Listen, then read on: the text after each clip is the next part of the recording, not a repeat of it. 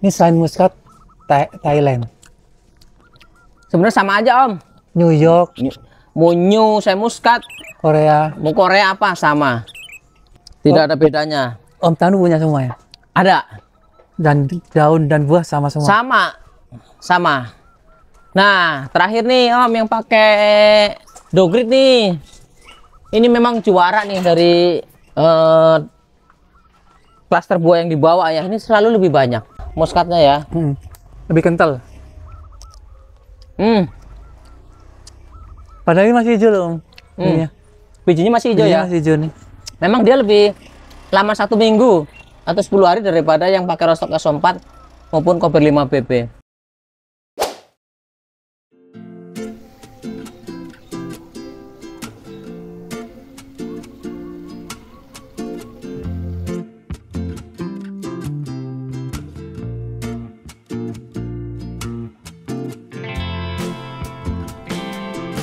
Ini sejarahnya bagaimana pohon dan Oh ini ya. buahnya ini Oke. apa nih? Ini adalah varietas baru yang dikasih dari Indothai Finance ya, yaitu punya dari Mr. Waraces dan Bubadaria. Tag awalnya ini adalah Werika. Dan waktu itu saya bawa eh, dua varietas ya, dikasih dua varietas bukan bawa ya. Ada Beauty Seedless sama Werika. Nah, dua-duanya tuh warnanya hitam dan ungu ya. Nah, Werika itu harusnya buahnya besar ya, oval, lonjong, manis dan garing. Nah, setelah berbuah seperti ini sudah saya konfirmasi ke beliau ya ke Bubadaria bahwa ini bukan Werika. Salah eh, bawa ya salah potong atau apa ya. Nanti ini buahnya akan saya bawa ke Bintaro ya ke Kung Anggur Bintaro. Kebetulan Bubadaria masih berada di Indonesia. Sekarang beliau berada di Bangka ya. Kemarin saya juga ke Bangka cuman saya pulang duluan dengan tim Kung ya kita langsung icip aja ini sebenarnya sa- satu minggu lagi bisa full mateng ya Di um- umur buahnya berapa hari setelah pangkas, Om? Oh ini lebih cepat nih pematangan ini 90 hari nih. Ini 90 hari ya, lima hari lagi sebenarnya ini sudah sudah bisa dipetik ya. Non biji ya. Tapi ini asam, Asam. tidak manis. Tidak manis ya? Kemungkinan ini buat wine ya mungkin ya atau gimana. Ini ada di planter bag eh, 10 liter sebenarnya. Tapi Ini- indukannya ini- ada. Sorry, Om, ini memang segini. Ini tidak dijarangin sama saya, tapi ini memang Ukurannya cirinya apa? Kelihatan banget ini buah kecil, walaupun di- kita jarangkan paling ukuran beri besar sedikit ya. Tapi memang ini eh, tergolong buahnya kecil karena tidak di sini saja yang berbuah, di indukannya juga sudah berbuah ya. Beberapa dompol dan seperti ini. Memang bagus sebenarnya ya kalau untuk hiasan atau apa ya Biasanya untuk dekorasi. lebih mirip untuk oh, wine grape ini ya, untuk wine ini. Kayak Rasa asam, manisnya sedikit sekali, cenderung dominan asam. Ini citrus. kalau sama Isabella enak mana? Isabella masih enak Isabella menurut saya. enak Isabella. Iya masih ada wangi, bau besar ya. As masih ada manisnya sedikit. Kalau ini 90% asam ya. Nah, ini nanti saya bawa ke Bubadaria. Akan Hmm. saya konfirmasi lagi ini varian apa. Apakah ini Werika, Black Oval ataupun Beauty. Seedless ya. Oh,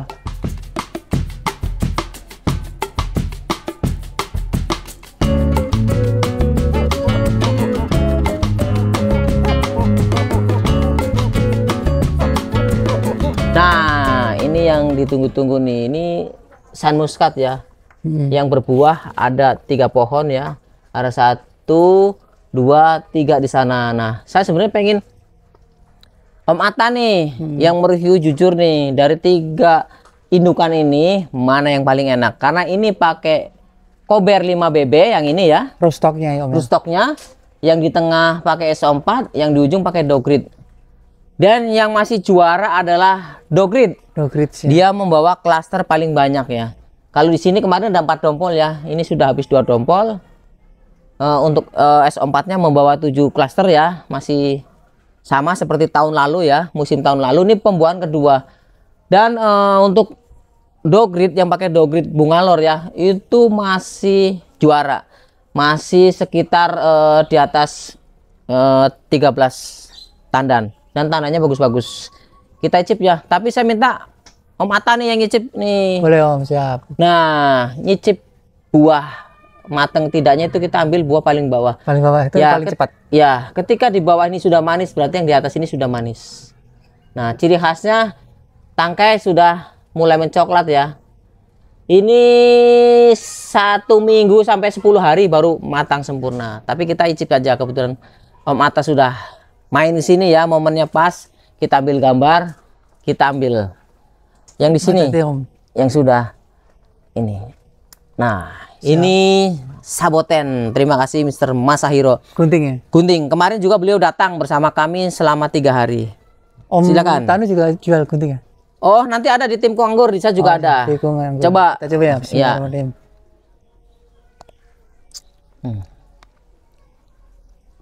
Ini masih berbiji ya, karena tidak menggunakan hormon sama sekali. Ini masih ada bijinya Om. Ya, sudah manis belum? Manis Om, lumayan. Wanginya keluar nggak? Sedikit ya. Sedikit ya, rasa muskat sedikit ya. Saya juga harus nyoba nih. Benar nggak nih yang Om Atta bilang nih? Nih. Ukuran sudah lumayan lah, berinya ya, sudah sedang lah ya, udah medium lah, nggak terlalu kecil banget. Hmm. Ini sudah dominan manis ya. Asam sudah tidak ada, cuman wanginya sedikit. Ini pakai Kober 5 BB. Koper 5 BB. Stoknya. Nah, karena ini sering saya tinggal jadi pemupukan mikro makro yang di yang di daun dan batang memang kurang ya. Kemarin habis dari Bangka Belitung 4 hari dari Garut dan lain-lain. Jadi ini pemupukan spraynya kurang. Tapi sudah oke. Nah, kita sekarang ngicip yang kedua mata ya. Nah, yang ini Siap, siap. ini yang menggunakan SO4, SO4 nih. Kita SO4. ambilkan ya. Ini size berry sudah standar ya, sudah lumayan lah. Iya. Besar ya, sudah sejempol tangan saya. Silakan. Om. Nih, mantap nih. Ini lebih manis ya. Lebih manis ya? Oke. Memang karakter rostok ya, penyerapan unsur haranya berbeda. Makanya Tapi bijinya lebih gede Om. biji lebih besar ya. Ini tidak menggunakan hormon sama sekali ya, tidak di GA, tidak di eh, apa pun ya. Benar tidak lebih manis? Coba. Lebih seger sih. Hmm. Biji sudah mulai coklat, Coklat. ya, cuma Ya, belum tua. coklat banget. Memang eh, idealnya tuh 10 hari lagi. Ini selain muskat Thai- Thailand, Sebenarnya sama aja Om. New York, Ny- Mau new, saya muskat, Korea. mau Korea apa sama. Tidak ada bedanya. Om Tanu punya semua ya. Ada. Dan daun dan buah sama semua. Sama. Sama. Nah, terakhir nih Om yang pakai dogrit nih. Ini memang juara nih dari eh klaster buah yang dibawa ya. Ini selalu lebih banyak. Dan ini tumben ini pematangannya bareng nih. Biasanya dogrit dia lebih lama. Tapi tumben ini pematangannya bareng ya. Dogrit lebih lama berapa hari Om? Oh, selisih Dibanding 10 harian lah. Dengan kober dan Iya. Mungkin karena di sini panasnya lebih dapat ya. Dari pagi langsung ke sini daripada yang di sana ya. Iya. Mungkin ini lebih cepat. Kita icip ya. Nih, Om Atta. Nah, biar tidak penasaran ya. Ini lebih kuning ya tuh. Ini buah yang ketiga nih. Iya, berry hampir sama lah ukurannya. Ini lebih menusuk Om ini ya. Wanginya, Di lidah. ah. wanginya ya. Oke, Arom, wah ini. aromanya ya, muskatnya ya. Hmm. Lebih kental. Hmm, Padahal ini masih hijau loh Om. Hmm. Ininya. bijinya masih hijau Bijinya ya. Masih hijau nih. Memang dia lebih lama satu minggu atau 10 hari daripada yang pakai rostok S4 maupun koper 5 BB. Tapi ini sudah manis banget. Wanginya sudah dapat. Ini Walaupun ini kalau harga bibitnya kurang. itu beda beda ini. Atau sama? Saya jual bibitnya masih di harga 150.000 Om. Maksudnya sama, mau rusak Kober 5 BB, SO4 ataupun Sama, Phoenix? sama. Kebetulan ini lagi baru mau bikin Om, lagi bikin-bikin ya karena cuaca panas sering saya tinggal jadi bibit banyak yang tidak jadi atau gagal ya. Hmm. Tapi kalau dijual pasti yang sudah spesial ya, sudah Ya, siap tanam. saya sekarang eh, mulai dari kemarin-kemarin bikin bibit pakai teleki, SO4, dogrit dan eh, rostok impor lah, kordek ya. Kalau IC apa hmm, angka Iya, C53 ya. Saya tidak punya indukannya om, jadi tidak bikin pakai itu. Udah enak nih Itu var- varietas stok juga ya? ya. Hmm. Hmm, memang wanginya lebih nendang om. Kita coba yang di ujung ya om ya. Ya siap. Hmm. Seperti yang dibilang ya, buah kalau nyicip nih. buah di bawah sudah manis, otomatis di atas juga sudah manis. Bismillahirrahmanirrahim. Mantap om. Ini saya sudah janji sama eh, Profesor Dr. Dewi Sukma ya dari IPB untuk memanen sen muskat ini. Mungkin eh, dua tiga hari lagi kan saya hubungin ya, biar nanti Hari ini apa om? Sabtu. ya biar ini lebih manis lagi, itu lebih manis dan yang itu juga manis. Karena saya sering keluar kota, ke Blitar, ke Malang ya. Jadi ini Bangka. pemupukan tidak maksimal karena pupuk itu masih saya yang aplikasi walaupun di apa namanya di kebun ada orang ada, Ada adik saya yang ya. membantu ya. Ada asisten banyak. Iya. Tapi, Tapi, ini untuk pemupukan tetap saya. Saya- racikannya atau apa ya? Om? ya eh, aplikasinya. Aplikasi. Aplikasinya. Sebenarnya racikannya sama aja ya. Sama saja sudah ada di buku ya, sudah ada di tulisan ya di anu. Tapi memang dua bulan ini saya tidak ada yang membantu. Adik saya baru datang baru berapa hari ini baru membantu lagi saya. Mudah-mudahan ke depannya pohon akan semakin dirawat ya. Nah di sana ada Apa om? eh, kupidon lagi buah-buah juga baru pentil ya. Ada Everest Hmm. di ujung. Atau crispy. Autumn crispy dari Thailand nih. Dia kecil gede. Eh harusnya sih size-nya medium ya sedang ya. Nih satu dua tiga dompol ya. Itu belum mateng. Ini asal brick bawa buah nih, oh, mata nih, sahabat Asia nih. Ini baru validasi saja. Hmm. Kemarin buah PHP ya kecil, dompolannya saya buang. Nah, ini yang klasternya bagus saya rawat. Ini dari ekspedisi sini ya. Ini tunas airnya bawa bunga saya rawat untuk validasi saja. Manis enggak gitu kan? Ada satu, dua, tiga, empat, lima dompol. Nah ini ini Grand Prix ya. Grand Prix. Grand Prix belum penjarangan buah ya. Nah saya belum bisa nih karakter Grand Prix itu seperti apa. Jadi tidak di GA pun dia bisa gosong satu klaster seperti ini. Dia bi- bisa gosong. Tidak Gosong. aplikasi GA tapi dia gosong semua. Karena apa ya om? Ya itu mungkin kekurangan kalium mungkin ya. Katanya kekurangan kalium jadi dia rentan gosong. Pupuk tanah juga kan pengaruh om ya. Hmm. Pupuk Ya. semprot juga pengaruh. Makanya dari 35 klaster awal yang saya hitung, sekarang paling ya sekitar 20 klaster lah ya. 15 hampir semua rontok. Emang kalau pupuk pembuahannya om Tanu apa om? Saya kalau pupuk di tanah ya kalau udah masuk mau pembuahan itu pakai 13 13 21 di awal ya, mungkin aplikasi sampai 4 kali dilanjutkan dengan 9 27 eh 25 25 ya. 9 25 25 kalau nggak salah. Profesional ya, tapi karena diri eh, lapangan susah, Iya. kemarin saya pesen ke teman saya yang di Probolinggo jadi pupuk racikan, Diracikan ya? pupuk racikan Itu pakai urea gitu ya? Urea. NPK biasanya subur kali diambilnya subur kali. N nya dari NPK ya sisanya rahasia mereka saya terima Hmm. jadi mungkin dari produk Merauke juga sudah ada ya nanti bisa ditanyakan ke Mas Garis Mas Adit itu bisa Eh, mereka welcome terbuka NPK profesional emang tidak diproduksi lagi.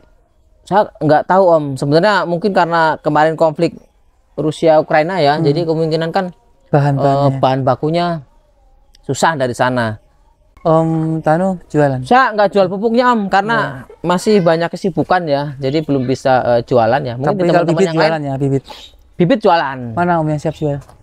Nih sementara bibit sisa ini nih. Mesin muskat semua ini. Enggak, ini campuran ada retros, ada akademik, ada yang lain-lain. Sisanya ada di lapangan banteng dan masih kecil di atas. Nah, ini Oh bibit di juga. lapangan banteng di Aspai. Iya di Aspai kemarin saya titip di sana ya. Itu yang tinggi-tinggi ini apa om? Oh ini, Ini jual juga kan? ya ini semi indukan om. Ini ada eh, early adora, ini ada ninel ya untuk semi indukan. Nah ini yang terbaru nih yang saya dapat nih. Ini adalah Nina Queen, Nina Queen. Queen Nina, Queen Nina. Original Dari Jepang ya. Jepang. Yang bawa adalah Ibu Badaria. Terima kasih Ibu Badaria. Berkat Ibu saya punya Nina Queen yang valid ya. Itu Daun seperti Saint Muscat yang jelas. dijual berapa harga? Om? Oh ini Mahal- belum mahal dijual ya? karena baru dua bulan di saya. Ini buat ngindukin saja. Oh buat ini ya. Ya, buat Cek indukan kali nanti. di tas validan. buah juga, buah juga dulu ya. Ya, ketika sudah berbuah, walaupun tidak 100% mirip yang negara asalnya ya, karena butuh hormon, butuh pupuk yang luar biasa ya, formula yang luar biasa. Oh tidak bisa 100% mirip dengan Iya, karena untuk membentuk eh, dia ada budelnya ya, ya. biji hilang itu memerlukan hormon ya. Hormonnya mahal. Mahal, udah gitu fasenya harus pas ya, takarannya harus pas. Jadi tidak mudah. Kata Bu Badaria itu belajar hormon paling tidak tuh tiga tahun baru kita bisa.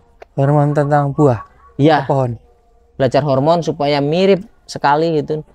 Itu minimal tiga tahun. Ya jadi teman-teman tiga tahun loh belajar hormon. GA3 itu tiga tahun. Jadi satu tahun sudah begini belum tentu tahun berikutnya bisa seperti itu. Makanya harus dicatat Catat. kata Bu Badaria. Dicatat. Ya. Waktu, tanggal waktu sampai tanggal jamnya, fase jam Matahari suhu. ya, suhu ya udara. matahari keadaan mendungnya tidak itu harus pH tanah juga ada ya, catatan. Ya ya. ya betul betul betul Om kalau yang di luar itu apa itu udah berbuah-buah? Oh, Everest ini. ya. ini Everest nih Om kalau jenis anggur yang direkomendasikan untuk para pemula yang baru mau nanam misalnya itu apa Om? Biar cepat berbuah genjah gitu dan perawatannya mudah. Nah, yang recommended adalah Cupidon ya. Kupidon, Cupidon nih. bukannya dia gampang terserang jamur Om? Eh, pada ininya gini, apa pun kalau dirawat ya, konsisten ya, pemupukan, penyemprotan ya, teratur itu tidak mudah terserang jamur. Yang penting kita tahu ya, jamurnya apa, kita obatin pakai apa, ya gitu kan. Ataupun yang umum pakai apa, itu, itu tidak mudah terserang ya. Asal sir- sirkulasi udara bagus, jamur juga akan jauh dari jamur sebenarnya. Sirkulasi. rambatan sama plastik UV jaraknya berapa Om? Ini tingginya sekitar 40 cm ya. Jarak antara rambatan sama Iya, ini 40 cm itu sampai atap. normal. Normal segitu. Atau Normalnya 1 meter, satu meter ya. bisa lebih. Hmm. Paling rendah sebenarnya eh, 50. 1 meter, Om. Satu meter. 50 masih kurang menurut saya karena panas ya. Ini sebenarnya ini kurang- sebenarnya kurang. tidak recommended ya karena ini kan buat masuk mobil saya kadang ke sini gitu Iya. bongkar barang jadi kalau terlalu di bawah juga ini kan jalan ya banyak orang Hmm, mengganggu lewat. ya. jadi ini hanya untuk safety saja. Yang penting perawatannya harus ekstra ya dari penyemprotan tadi jamur ya. Fungisidanya ya. fungisida ya kelembapannya fungi sama tinggi ya. insek ya. Sirkulasi udara kurang lancar sih sebenarnya. ya otomatis jelas akan ada negatifnya bayangin tapi asal kita rawat dengan bagus ya Hmm. waktu nyemprot seminggu sekali akan bebas dari jamur. Tuh kupidon Ini kupidon, di Ya, dijarangin ya. ini sudah penjarangan kemarin. Tapi di GL3 juga ini satu kali kemarin satu kali. pakai biges ya Bigas berapa tetes? oh cuma satu tetes ya Satu tetes dalam satu satu, tetes aqua gelas. eh, 500 mili Oh setengah liter. iya pas Kecil eh, sekacang hijau segini Hmm. pas Kalau terlalu hijau ya banyak nanti ini overdosis. ya. overdosis. Nah ini Cupidon adalah satu va- varian yang sangat responsif dengan GA3. Hmm. Ini banyak yang prematur ya, walaupun dosisnya cuma satu tetes, eh, Pada 500 rontok ya, mililiter ya. Jadi Ini banyak yang rontok, banyak eh, yang kecil. Jadi Hmm. dia bagusnya mungkin airnya ditambahkan lagi ya. Dianjarkan lagi. Everest om, Oh, fresh ya sampai saat. sama Everest nih. Berarti ini akarnya di sini nih. Ya ini Oh dia pohonnya ke sana ya. sampai sana ya rambatannya. mm, betul. Panjang sekali Om. panjang panjang Eh, menurut eh, saran dari Bu Badare ya. Kalau menanam anggur itu sebenarnya jarak tanam itu penting. Minimal itu tiga kali enam. Idealnya untuk kebun ya. Kalau untuk display itu tiga kali empat. Jadi Kebun tiga tuh enam. minimal 4 meter. Kalau 3 meter amat sangat kurang katanya. Tapi ya, Sekundernya itu 4 meter. ya sekundernya itu 4 meter. Terus nanti tersiernya kanan kirinya? Tersinya satu setengah. Satu setengah. Satu koma dua sebenarnya 1,2 meter meter ya, 120 cm. ya Itu udah maksimal ya Om ya, segitu. Ya, di Itu maksimalnya di 15 satu, tahun. Satu tersier biasanya membawa dipasang berapa dompol? Maksimal dua, Dua sih. dua saja. Dua dompol ini tamaki ya atau neomaskat ya. Hmm. Nenek moyang dari Saint Muscat, ya. Karena ini sistemnya display, jadi setiap eh, orang datang tuh harus ada contoh buah ya. Karena Iya. untuk saya jualan bibit, Jadi setiap orang datang, hmm, ini bibit Siap jual. bukan om ini bibit eh, rusak ya varian-varian Thailand yang belum dirilis ya. Jadi masih potong masih potong saja. Tapi ini memang rusak. Varian Thailand apa aja, Om? Ini ada eh, Beauty Seedless, Beauty ada Werika tadi, ada Scarlota, ada Yami Rainbow, ada Saya Muscat juga. Nah ini memang tidak dijual sama saya. Karena jualan bibit harus dengan kualitas yang bagus ya. Tadi masih sakit ya? Sakit om. Biasanya kalau begini nanti berapa kalau memang tidak survive ya? Karena di sini kan kurang matahari om. Iya. Bibit itu harus sirkulasi udara dan matahari juga harus jos ya. Hmm. Nah ini cangkokan kordek om tuh. Kortek dicangkok-cangkok. Iya. Batang muda juga mau ya, Om? Nah, korek bagusnya di Batang Muda. Ini original Thailandnya yang saya bawa langsung Barero dari sana ya. Om em- emang Ini paling bagus, satu tahun setengah. paling bagus batang muda yang dicangkok. Iya, Yang Batang Muda kayu. untuk pembibitan kalau untuk kordek. Kordek ya? Turun cangkok, grafting, semai. Oh gitu. Jadi kalau saya biasanya kalau bibitin dari kordek itu setelah turun cangkok akar sudah banyak ya. Hmm. Itu langsung saya grafting. Saya grafting, saya rendam B1 akarnya baru saya pindahkan ke media tanam, ke polybag. Itu. Ya ini masih hanya skalanya apa namanya display ya Om. ya. Iya. Jadi dibuahkan terus menerus tapi tidak pembuahan bertingkat saya. Mungkin eh, sistemnya potes pucuk berbuah tapi tidak saya buahkan di depannya. Karena nggak bagus untuk apa namanya kelangsungan hidup si pohon. Ya kalau memang pemberian pupuknya maksimal ya. Kalau enggak kasihan pohonnya sakit nanti. Makanya di sini batang masih lumayan-lumayan besar om ya. Apalagi yang pakai rostok kordek ya, pasti dia bulat ya. Kalau masih pakai dogrit S4 dia masih bisa gepeng om. Kalau masih pakai kordek itu dia cenderung bulat. Cuman ya tadi hati-hati untuk pemupukan dan lain-lainnya karena dia cenderung vigor. Kalau pohon vigor terlalu gemuk itu sulit di pembuahan sebenarnya. Yang sedang-sedang saja makanya disarankan itu kordonya sampai 6 ya, sampai 12 karena biar nggak terlalu gemuk.